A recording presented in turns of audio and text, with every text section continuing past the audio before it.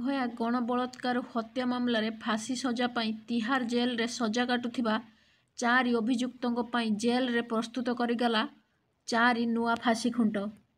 ତିନୋଟି ନୂଆ ଫାଶୀ ଖୁଣ୍ଟ ନିର୍ମାଣ କରାଯାଇଥିବା ନେଇ ସୂଚନା ମିଳିଛି।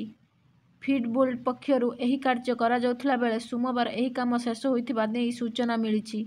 ପୂର୍ବରୁ ତିହାର ଜେଲର ତିନି ନମ୍ବର ସେଲରେ ଥିବା ଗୋଟିଏ ଫାଶୀ ଖୁଣ୍ଟ ପାଖରେ ହିଁ ଆଉ ତିନି ଗୋଟି ଫାଶୀ ଖୁଣ୍ଟ ନିର୍ମାଣ କରାଯାଇଥିବା ସୂଚନା ମିଳିଛି।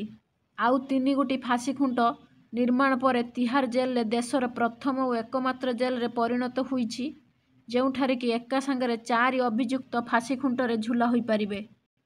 ତିହାର ଜେଲ କର୍ତ୍ତୃପକ୍ଷ ସୂଚନା ଅନୁଯାୟୀ ଏହି କାମକୁ ସମ୍ପୂର୍ଣ୍ଣ କରିବା ପାଇଁ ଜେଲ ମଧ୍ୟକୁ ଏକ ଜେସିବି ମେସିନ୍ର ମଧ୍ୟ ଅଣାଯାଇଥିଲା।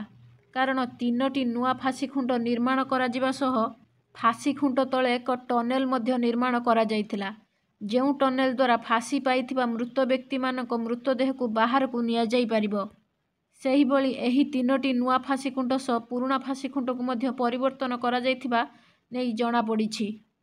ତେବେ ଚାରି ଅଭିଯୁକ୍ତଙ୍କ ଫାଶୀ ଖୁଣ୍ଟ ପ୍ରସ୍ତୁତ ହୋଇଗଲା ପରେ ଏବେ ସାଧାରଣ ଲୋକମାନଙ୍କ ମଧ୍ୟରେ ଏକ ପ୍ରକାରର ଉତ୍ସୁକତା ପ୍ରକାଶ ପାଇଛି ଯେ ନିର୍ଭୟା ଦୋଷୀକୁ ଫାଶୀ ଖୁଣ୍ଟରେ ଝୁଲାଯିବ।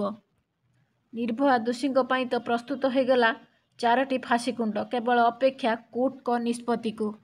କେବେ କୋର୍ଟ ରାୟ ଦେଉଛନ୍ତି ଏହି ଚାରି ଜଣ ଅଭିଯୁକ୍ତଙ୍କ ଫାଶୀ ପାଇଁ? ଫ୍ରେଣ୍ଡସ୍ ଇଏ ଏମିତି ଏକ ଘଟଣା ଯେଉଁଠି ମଣିଷ ସବୁବେଳେ ଜଣେ ମୃତ୍ୟୁ କଲେ ଜଣେ ମନ ଦୁଃଖ କରିଥାଏ। କିନ୍ତୁ ଏ ଚାରି ଜଣଙ୍କୁ ପୁରା ଦେଶବାସୀ ଅପେକ୍ଷା କରିଛନ୍ତି ୟାଙ୍କ ମୃତ୍ୟୁରେ ଖୁସି ବନେଇବା ପାଇଁ। ଆଶା କରୁଛି ଫ୍ରେଣ୍ଡସ୍ ଆପଣମାନଙ୍କୁ ଏଇଟା ଭଲ ଲାଗିଥିବ। ରହୁଛି ନମସ୍କାର।